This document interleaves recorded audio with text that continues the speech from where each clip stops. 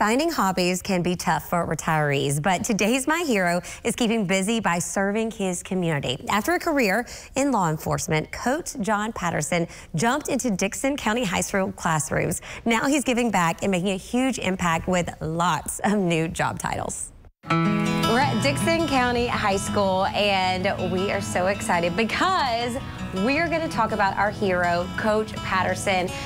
Ladies, okay, this is so exciting because this coach has been at the school, but this is not his first career, is it, Lila? No, it's not.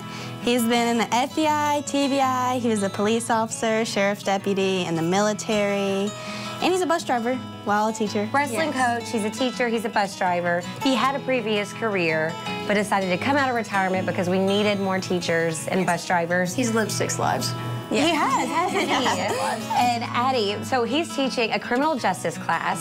This gentleman obviously has a plethora of knowledge, but he does so much more than that, and that's why he is y'all's hero. Yes, ma'am. Yes. He's the most caring teacher we've both had. Mm -hmm. He's always just so happy to be here and tries to make you happy to be here too. He takes us on every field trip he can find. So many opportunities he gives us. We go to the range. We, we the went range, to the jail. jail. TBI. I'm on dance team here, mm -hmm. and he's our bus driver, so he takes us to all our competitions, all away games. During summer, we have a seafood boil where everybody that helps can come, and he has seafood from Louisiana.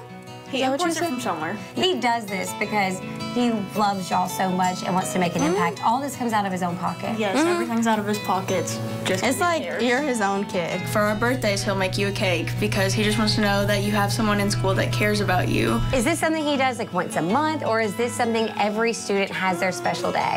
When he gets reminded. They have their special day. Him, but when you they tell have their him, special day. Yeah. And then what does he do to celebrate someone? We have cakes. He'll sing only if you want to be sang to, though, because I hate being sang to. Um, he gets a cake and he knows what you want, so that's fun. So he, I know recently you had a birthday. Yes, And you had very specific requests for your icing. And Coach never heard of this icing, but he went, traced it down, found it, and you yes. got your dream cake. Yes, it's rainbow chip icing. You can get it at all your stores. And he got confetti the first time, so he redid it with the rainbow chip. So that was fun. He's a great teacher. He's the best teacher we've had. Such a precious gentleman. And thanks to Bart Durham Injury Law, they will be donating $250 to Coach Patterson's Choice of Charity. And we did a little digging, and he wants to give it to the Women's Are Safe Incorporated. A big thank you to the Durhams for sponsoring My Hero. And if you have a hero you'd like to nominate, just write to us at myhero at newschannel5.com. Ben, this was such a special day. I mean, this gentleman, he does everything. It sounds like he does it all. He you really know, does. Uh, and what a service to like be retired, mm -hmm. earn the right to kind of just rest, relax, right. go fish, play golf, whatever. But he's like, you know what? We need some teachers. I'll step up. I'll teach this criminal justice class, of which he has great experience in already.